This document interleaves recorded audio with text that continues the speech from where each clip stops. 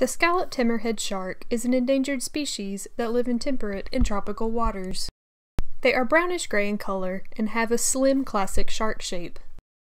All species of hammerhead sharks share the distinguishing feature of the hammer-shaped head. The hammer has evolved to enhance the shark's sense of smell and electroception, as well as lift and maneuverability. The high surface area is thought to spread out the sensory organs for these enhanced mechanisms. These sensory organs are called the ampullae of Lorenzini and are used to detect electric currents, temperature change, and chemicals in the water. Within the hammerhead family, the species are differentiated from each other by the variations in the head shape. With this particular species, the head is broadly arched, with three evenly spaced indentations between the eyes, giving it the scalloped appearance. They have a very high metabolic rate, so they need to eat a lot of food in order to not starve. They feed on squid, octopus, crustaceans, bony fish, and smaller sharks and rays. There have been up to 50 stingray spines found in the mouth and digestive system of a single hammerhead shark. During the day, they are often seen in impressively large schools, sometimes containing hundreds. The theory here is that in groups it allows them to catch larger and trickier prey than if they were alone. In these groups, the younger sharks stay closer to the center, and the older ones on the outside to protect and navigate.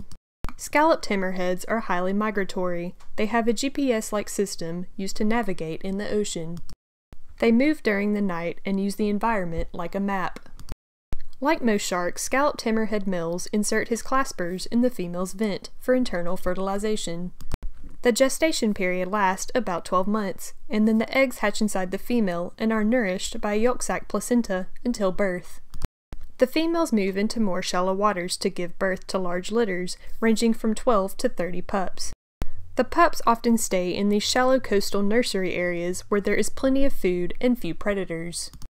Scalloped hammerheads are found in temperate and tropical waters of the Atlantic, Indian, and Pacific Oceans.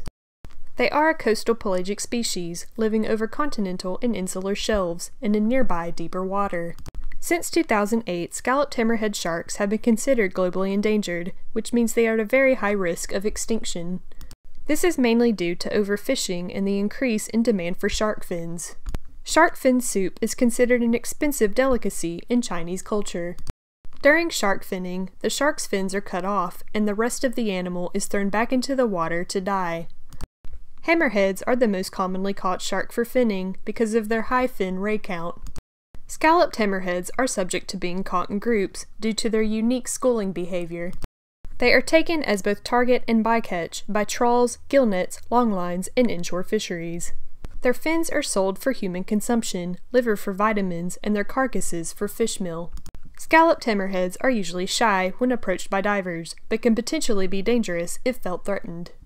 Unfortunately, given their slow maturation, long gestation period, coastal nursery grounds, and schooling behavior, populations can be wiped out rapidly. Even though states are urged to manage highly migratory species of the UN Convention Law of the Sea, no such management currently exists.